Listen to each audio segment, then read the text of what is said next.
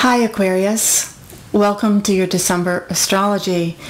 And December has a lot of different mixture of energies, so you can be very busy and going through a lot of different stuff, but there's an undercurrent that can go on that's like, hmm, let me take some time out to think.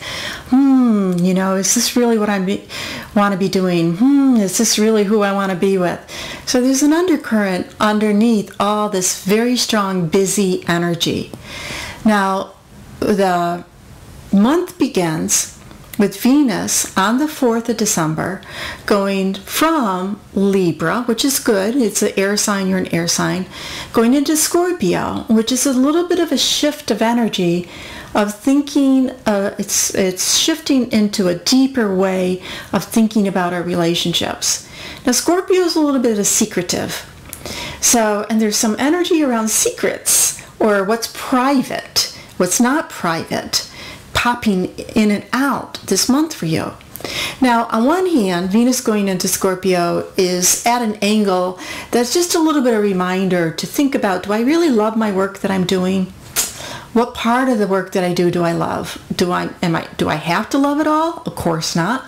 But there's a little bit of a questioning around the path that you're on and whether or not you feel that you're getting paid what you deserve um, uh, and for the work that you're putting out. Now, all of this is forecast is for all of Aquarius, of course, but some of Aquarians who are born on the 31st of January, February 1st, February 2nd, you may feel the level of the intensity, just the level of this energy um, up a little notch just a little bit more intense this month. Now, when we move forward in the month and we have Mercury shifting into Capricorn, Mercury's been in Sagittarius shifting into Capricorn. Mercury's a thinking planet. You're very intellectual. So Mercury is about thinking the intellect. So it's been going from that Sag, which of course we got the Sun in Sag, the new moon it's gonna is in Sag on the 11th, but this thinking of oh let me let me think about the possibilities uh, shifting into capricorn it's a little bit of a slower pace about planning you know is a little bit more reserved in communication a little bit more reserved in saying exactly what's on your mind now on the 11th with this new moon in Sag it's a very interesting new moon as it's connected, the symbols are, so of course, the moon in Sag. This is the time of year of being positive, looking for opportunities, expanding, learning. What do I believe? You know, what do I really believe? So there's a little bit of a challenge for you. It's like, and it can come from other people. It's like they believe this, I don't believe this. So there could be a little bit of, you know, they're full of it. They don't know what they're talking about that goes on, but underneath it, it's a little bit of a push to ask yourself, what is it that I really believe and why do I believe it? And do I need to know everything? You know, let me examine. Let me examine the things I used to believe and maybe I don't think of them the same way as I did. Now, why this new moon is complicated is that Mars, the planet of aggression, the planet of motive, you know, doing something, action, is connected to the Uranus-Pluto square that we've been going through for the last two, two and a half years of revolution. So, and it's not just on the 11th. This vibration's weaving in and out, you know, almost for the whole month, at least for a couple of weeks. And it's been activating. So where in your life that you know you haven't made a change, that deep down, you it would be you would want to make a change if you could if something wasn't in your way. So it's activating, it's saying, it's like if I don't do this now, when am I going to do it? Now Mercury in Capricorn is saying make a plan. You know, you don't have to throw things over, just make a plan. But don't be in denial about it. And wherever you've been disappointed in your life in the past, just it's a learning experience.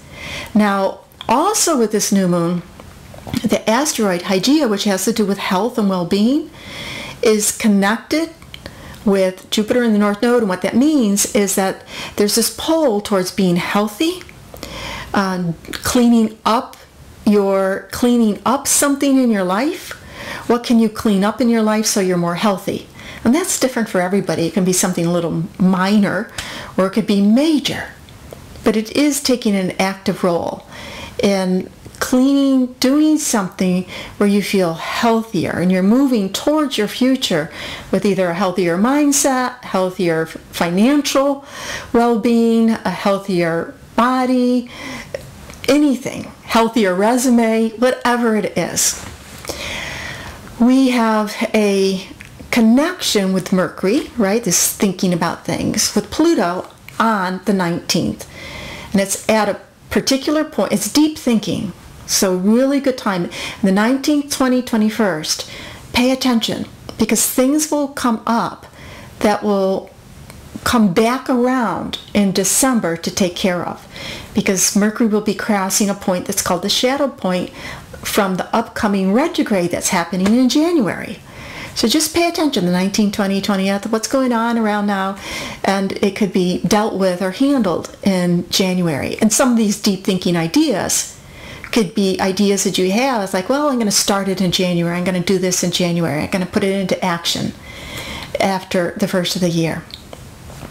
On the 21st, 22nd, uh, if you're in Europe, the sun goes into Capricorn.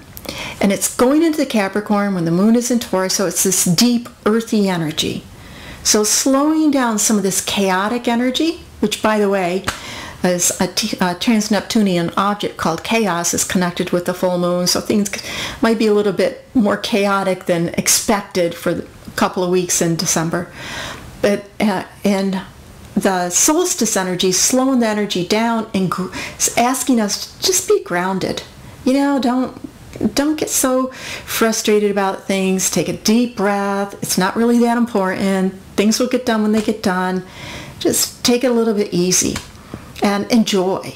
You know, just and be able to sit back and enjoy some things.